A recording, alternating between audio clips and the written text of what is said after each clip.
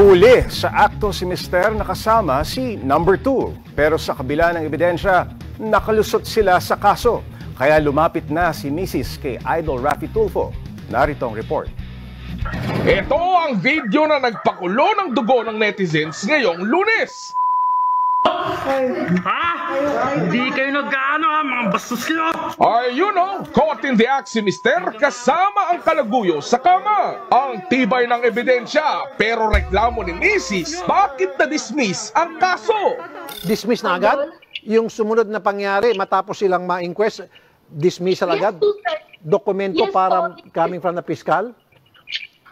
Yes, sir. Yes po, ganun po. Hindi, wala po sa aking nakuhang salita po. Wala, sir, ng fiscal po. Oh. Kaya napakasakit yung nangyari, sir.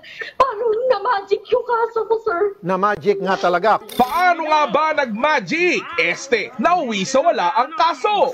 Ang may kasalanan is yung investigating officer ng kapulisan na hindi sinama yung kabuuan ng ebidensya. Pwede pa bang iapila ito ni uh, Mrs.? Tama sir, na pwede pa natin itong i-appeal, iakyat natin to sa DOJ, Sir Rafi, para sila ang mag-review. Dahil dito, pwede ring managot ang mga nagpabayang pulis.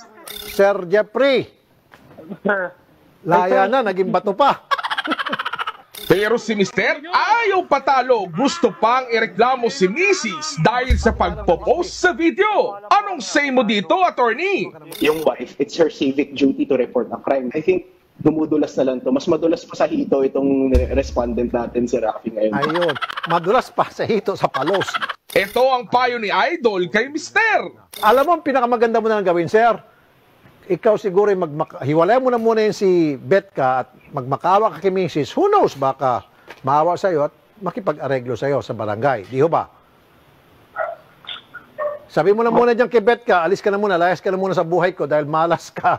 Magpupuno ka ng di oras. Kung ayaw mo naman, Mister, ito ang mensahe ni Idol.